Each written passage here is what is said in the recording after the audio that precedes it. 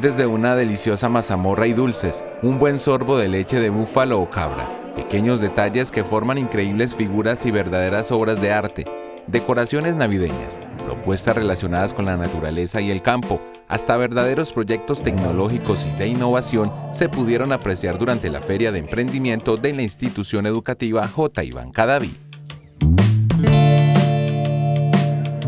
Nosotros les venimos a mostrar el proyecto de del vivero que hicimos en la Elena Benítez.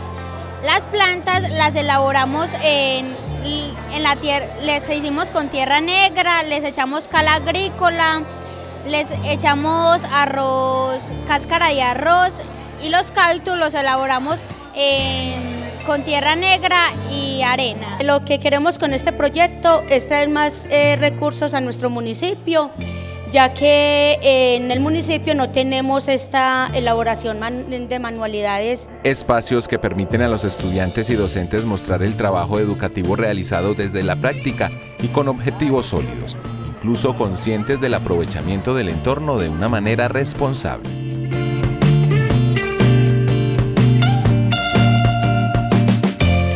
Yo le decía a los, a los profesores y a los estudiantes, vamos a, mostrar lo que hacemos, no lo que vayamos a comprar por ahí lo traigamos, no. Lo que hacemos porque a partir de ahí pueden surgir unas propuestas muy importantes para su vida personal y familiar. La educación basada en contextos de enseñanza reales que convierten la materia y los objetos en una verdadera herramienta de aprendizaje, utilizado por el alumno y docente para un fin determinado con beneficios productivos.